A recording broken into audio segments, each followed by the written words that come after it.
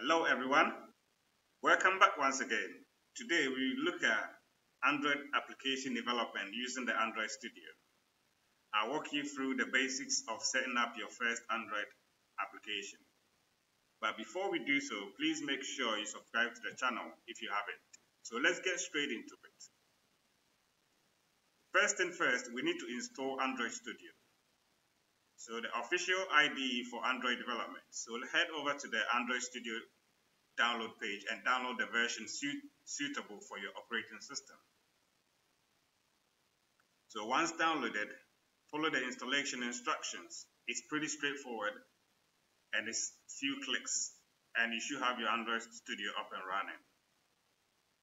So now that we have the Android Studio installed, let's go ahead and create our first project.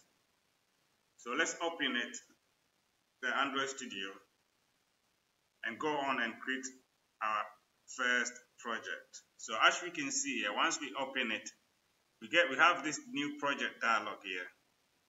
So here we actually get a bunch of templates that we can get started with.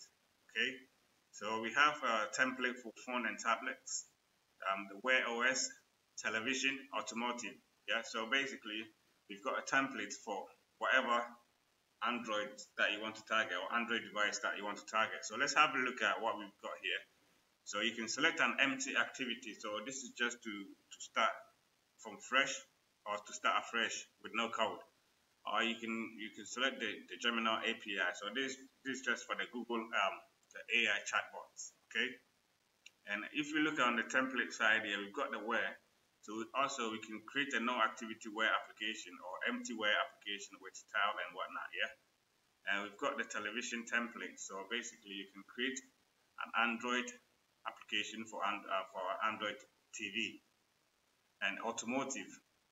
So basically you can create an Android application or for media services and whatnot that targets an auto operating system.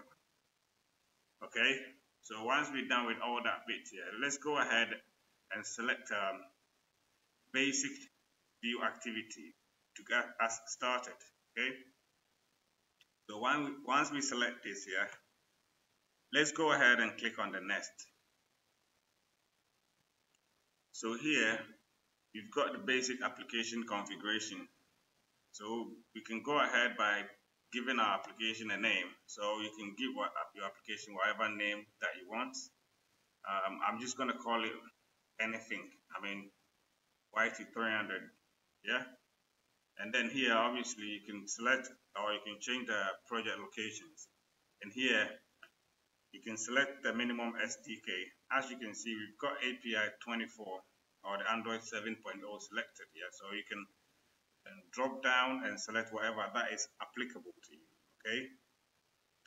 And here you can select the language yeah? So for this part here let's use Kotlin instead of Java yeah? So as you can see here the build configuration language. So Kotlin DSL that's the recommended one yeah?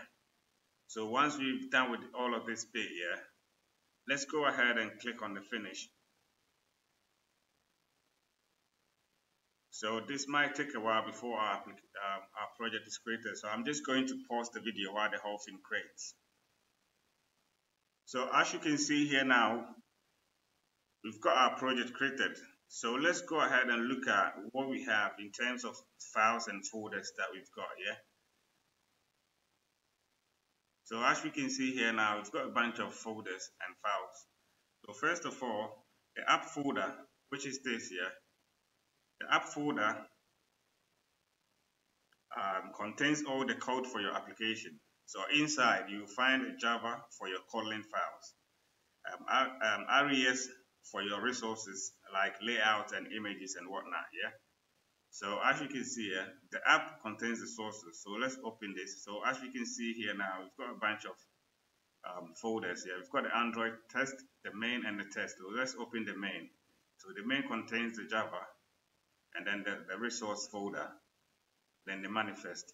So let's open the Java. So inside the Java code here, we've got the com. Yeah, so let's open the um, the com folder contains example. So let's have a look at it. So as you can see here now, we've got main activity, uh, the second fragment and whatnot. Yeah. So as you can see it's not it's not very difficult, but we're not going to look too much into the code here. First of all, let's look at how we can run our project. Okay. First, let's as we can see here now,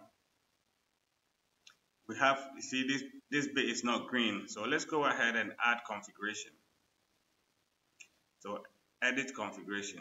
So here, this is what we have. So let's click on the plus button here. So let's select um, Android app. So this is what we get. So let's go ahead and, so as you can see here now, we have no, um, no module and then the default APK, we've got nothing here. So this is what we're going to do here. We're just going to cancel it, okay? And this is what we do. Let's select this bit here. So this will bring out the file, edit and whatnot. So let's go to uh, run, um, either build or run, yeah? So here, let's select the debug. So as you can see here now, it's still telling us to um, edit the configuration, okay? So let's come back here. So as you can see here now, once we actually rebuild the application, we've got this bit coming up here. So let's select let's select this here. This is the emulator. So as you can see, it's not being selected. Let's select this. First of all, what I'm going to do is we're just going to run it first. going to run the application first. So it might take a while, so I'm just going to pause.